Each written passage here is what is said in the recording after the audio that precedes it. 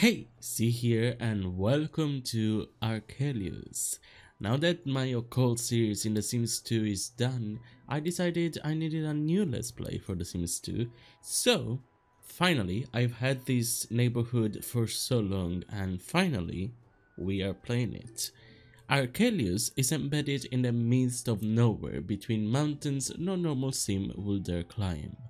The community managed by itself up until the untimely death of Abraham, the founder.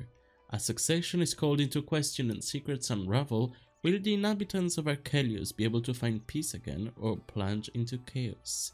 Now this, I had to disable story progression for this neighborhood to work as intended because this is um custom made neighborhood with a story with lore incorporated into every family here so there is a recommended playing order so the first family that we are going to play is the fontana so the first family that we are recommended to play is the fontana a few months ago, the shy and sweet Oriana, or is it an L? Orlana or Oriana? I think it's Oriana, defied expectations and married her superior.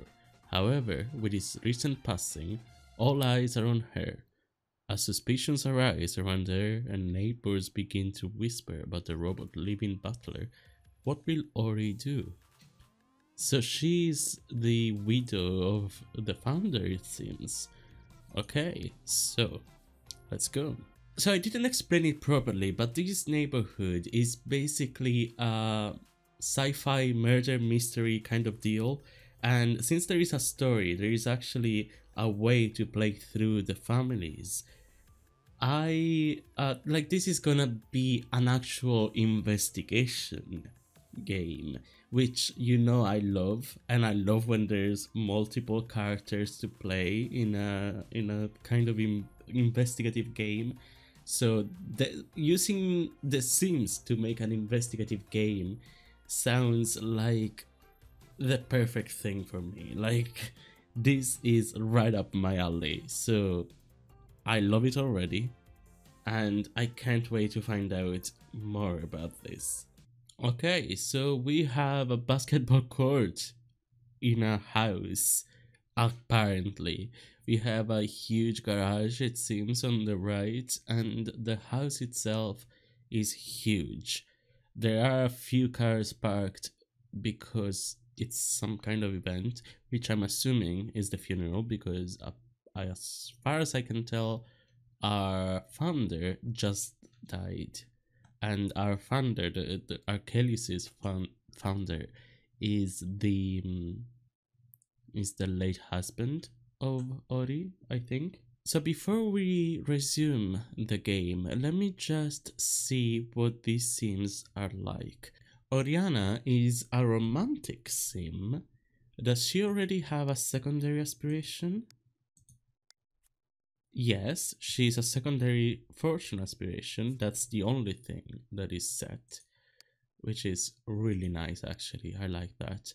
Uh, the rest is up to me, but she is a virgin, so she's neat, shy, uh, active, serious, and a bit grouchy. Smart but shy, Oriana is content in her wants and needs.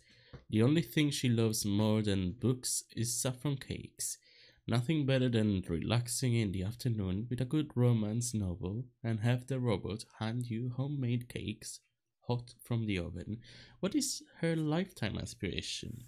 Her not a hundred thousand simoleons, which I feel like we're already halfway there, so um we can do that. Uh, now our our servo Iron Man Hellos is a family aspiration well, he's not a sim, he's a servo, but doesn't have a secondary aspiration. I guess I can choose it. We'll do that eventually. He's a cancer, so he's a little bit neat, not too much. He's shy, a little active, a little serious, and a little nice. He's pretty average. But is he alive or dead? Has he thoughts within his head? He was built from steel in Abraham's lab. one of the first servo prototypes. Nobody wanted him, but Abraham saw his potential. Hmm, interesting. And his lifetime aspiration is to reach golden anniversary. Oh, what a shame that you will never be able to. Because to reach golden anniversary, you need to be a you need to be an elder, and he can't age up. He never ages. So yeah. Now Nicholas is just a child, so of course he's he has the growing up aspiration, and um, he can't yet have a secondary aspiration because they're not available to toddlers or children.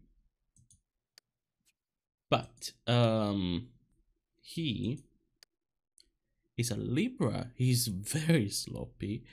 He's outgoing, lazy, playful, and um, kind of midway through grouchy and nice. He's neither nice nor grouchy. But he has brought Iron Man such joy. His cheeky personality makes every day an adventure for the robot. So, let's actually see what this is all about. She wants to resurrect Benvolio. Whoa.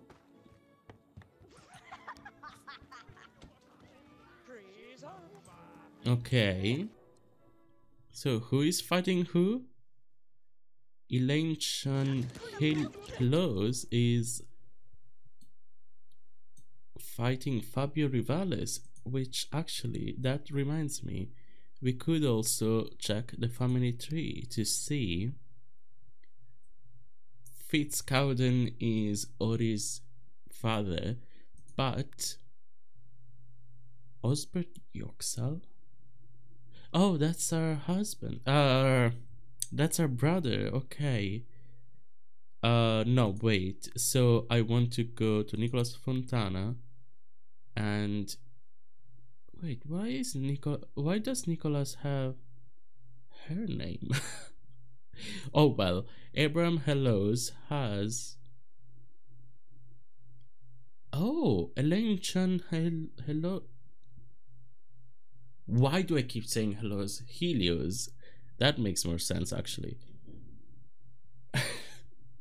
anyway, uh, Abraham Helios has four children, one of which is Elaine Chan Helios, and then Darcy Mishra, Narcissa Soili, and Nicholas Fontana.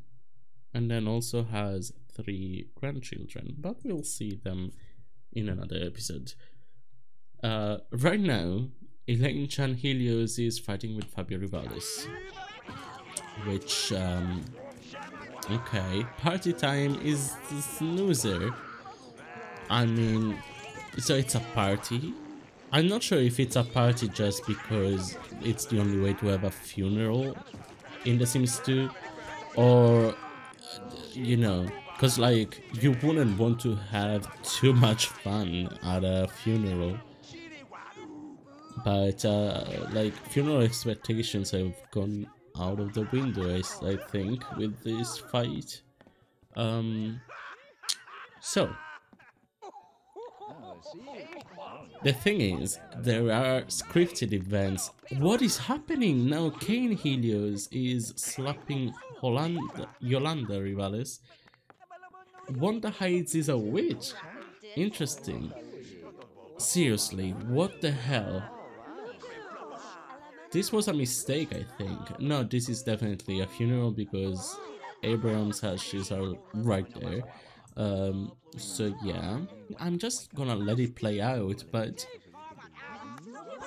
like apparently this is supposed to happen, but I'm confused.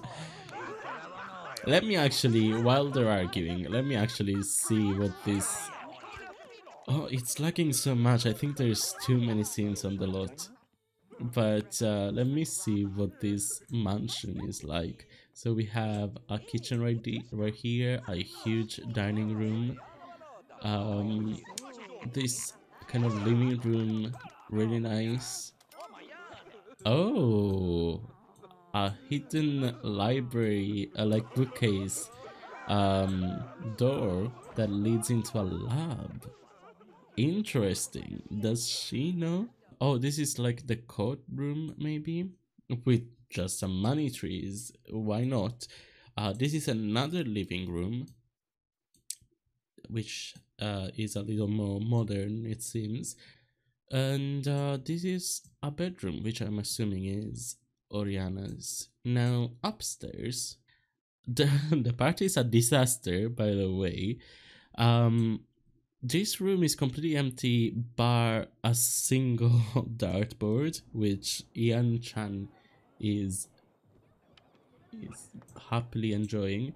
Oh, maybe this is Oriana's room actually. I think they slept in separate beds. Is this gonna be for Nicholas? Because I mean, maybe they're just prepping early, or was it someone's? And why is all of the toddler stuff in a wall? Oh, wait, what? What is this? And there's toddler stuff down here as well. I thought it was just like you know how some mansions ha just have a like a proper house, but like a house within a, a lot that is a mansion. I don't a resident no I forget how it's what's it what, what it's called but no it's a bowling alley of course we have a bowling alley in the back um but yeah oh this is what I okay I thought that was what this is. And I had I didn't even I wasn't even thinking that there would be another one here another but yeah. I completely forgot that there is a garage here. I thought it was just a huge garage but no this is um god what's it called? I did forget that this is a thing. So there are also family books but um yeah Baby Nicholas was all that remained from her marriage to Abraham. As much as, he, as she loathed to admit it, Oriana couldn't stand him. Lucky for her, Iron Man loved him as if he were his own. Toddler skills could all be taken care of. I'm living the dream, Oriana thought, as Iron Man carried Nicholas away to be potty trained. I finally made it. I'm free. Hmm, interesting. Is that why all of the toddler stuff were in a room, in a walled room. What am I doing? What? What you? Oh my god! Oriana scolded herself internally. I didn't even check the relationships. I just. Oh my god. I mean, it was. I did go in the relationship panel to check the family tree, but I didn't actually check the relationships. I forgot. he was a robot, a servant, a living nanny, maid, and gardener all in one. He didn't have a beating heart. He didn't bleed if he was cut. How could he be made of metal and yet more of a man than most she had met? Whew! What's your step? Oriana giggled. Iron Man was quite the dancer, to her surprise. Then again, with all the weddings he had needed to attend through his life with Abraham, perhaps that shouldn't be a shock. I don't know what would hurt more, Mr. Helios, my lead boots on your or your heels. you can feel pain? Oriana couldn't believe the thought had never occurred to her before. I can feel just as much as a non-mechanical sim, Iron Man explained, if not more. I'm loving this. More, she says. Abraham Helios represented everything she had ever wanted in a man. Wait, I think I'm going backwards. I am going backwards. What? Okay, my bad. Please don't leave me with them, Oriana begged, tugging at the suit of the social worker. The social worker gave her a look of annoyance. Don't be silly, Oriana. You're in good hands with Mr. Cowden. Oriana lowered her gaze dejectedly. Can I at least get a hug goodbye? She asked, reaching out her arms to embrace her social worker. No, no. The social worker took a step away. Go hug your father. He's not my father, Oriana protested. I don't know him. You will. The man, you will. The man, Mr. Cowden, spoke in a low voice. Like it or not, you're a Cowden now. Never, Oriana thought. I will never be a Cowden. Wow, okay. Mr. Cowden is the worst, Oriana complained. She sat down in the couch and stretched her arms. I got a job like he wanted, and then he tells me dancing isn't serious enough. Geez, sorry for not being a politician or business entrepreneur fits. I forgot I had to tailor my life to suit your wants and fears. I love that nod. Benvolio sat down next to her on the arm of the couch, running his hands through her hair as if it were a comb. I'm sorry, baby, he said. I wish I could help, get you away from him. I wish you could, Oriana sighed. He's such a negligent dad, too. Osbert has been having aspiration failures since we were kids, and he does nothing about it other than send in the free therapist. As if that will solve his problem in the long run. Again, love the nods. At least your brother has you to care for him. Yeah, but I'm not a mom. Benvolio kissed her on the head. You'll get better, Ori, I swear, he said. When we become adults, I'll marry you and get you far, far away from Mr. Cowden. You swear? I swear on my life. The day never came. Benvolio passed away in a tragic accident. Fitz did nothing but yell at Oriana for crying over his death. She tried to run away from home, but was forced to return by the police. It wasn't until she became an adult that she finally found the key to freedom. Abraham Helios represented everything she had ever wanted in a man liberation, independence, unconditional love, intelligence, and enough simoleons to purchase every book in the library. When they met, he was her boss. When they married, she was his. A real polymath of a man, too, specializing in biology and the creation of life. Life included, included his sweet robot Iron Man, who had been with him ever since his first marriage. It seems so contradict it seems so contradictory that this creator of life, father of an entire town, would eventually die. What is it? Is this what? Oh my god! There's even the police involved now. I haven't done anything. This is all. I feel like I'm watching a movie just direct oh the party is too loud. Let's break it up people. I mean thank you. Because like also if you see some of them look weird it's not because that's how they look. It's because i have default replacements. So red nvidia and nappy place uh, the people who made this neighborhood uh, didn't have these default replacements when they made the characters so some might look weird uh, but okay, then uh, the police broke up the party. That's good, actually. Now, the only person that. Oh my god.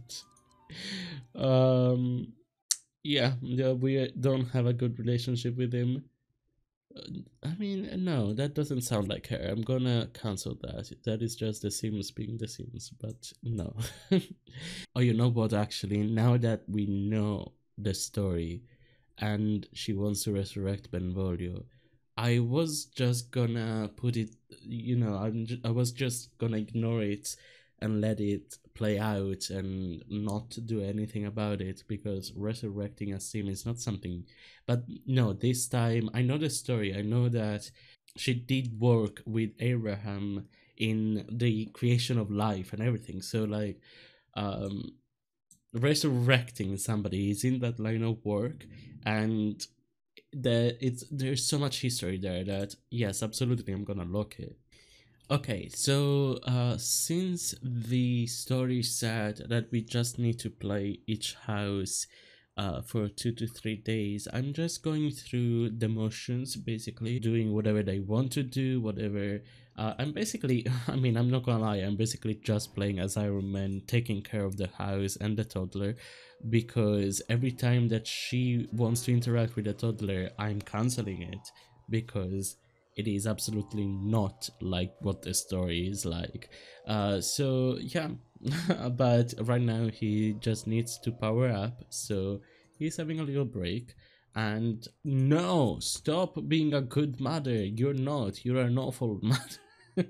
uh, but um, yeah, no, we're not gonna interact with a toddler until he's grown up and we can interact badly with, with the child. Well, that's horrible, but it is what it is. Now, she does want to get a job in the slacker career, but but I'm not gonna do that. And even though she doesn't have the ex- uh, the specific want for that, I'm gonna interpret that resurrecting Benvolio means that she wants the Resurrect-O-Nomitron in order to resurrect Benvolio. Uh, we do want charisma level 1. After she's done with this charisma point, I'm gonna have her walk to a community lot. Wait, actually we have a car. I don't need to have her walk to the lot. So what I thought is I just put this in. This is a conversion from the community board uh, that is in The Sims 4 Eco Lifestyle.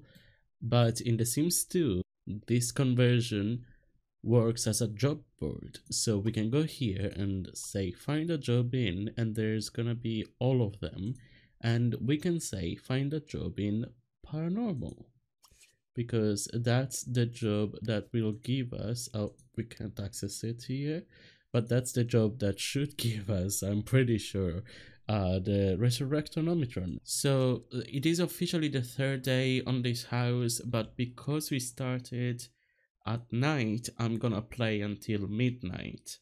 Um so yeah because like we started on the night of the first day so i'm gonna play until the night on this day. I was just taking care of needs and stuff but i was just thinking the name of the neighborhood Arkhelios i said Arkhelios but Arkhelios like the church is called arch church and the founder is abraham helios so it's Arkhelios so it it it might be something to do with an arc and Helios is just a self-reference to himself.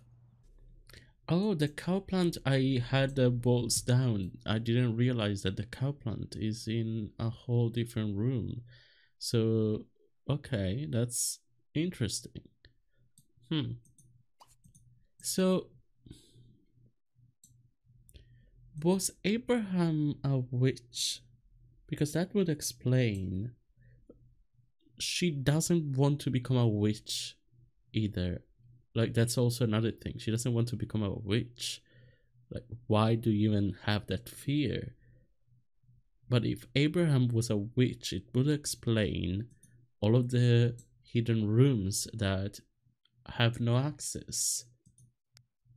Like this one as well of okay yeah it's a specimen you want it contained but like you also want to you know take care of the specimen so feed it and uh, and everything but i don't know. So it is officially midnight between the third and fourth day and i'm gonna leave it here for this session. So this episode was mainly just setting for the story that we're going to see play out and uh, we did a few things. But overall besides the very start which was mad uh, nothing much happened uh, but we'll see in the next episode, in which we play as the Rivales, and we'll see what all of the arguing and fighting is about. I mean, they are literally called the rivals, so we're gonna find out more about the story and investigate more about the mystery. Like, mystery about what as well? It does say in the download page that it's a murder mystery, but is the murder like, is it implying that Abraham was murdered? Uh, because I think I think yes, I think that's what it's implying. So we're gonna find out more about that. But for now, like and subscribe as always. Comment down below what you thought about this episode, what you think about these sims, about this neighborhood. And I'll see you guys in the next one. Bye.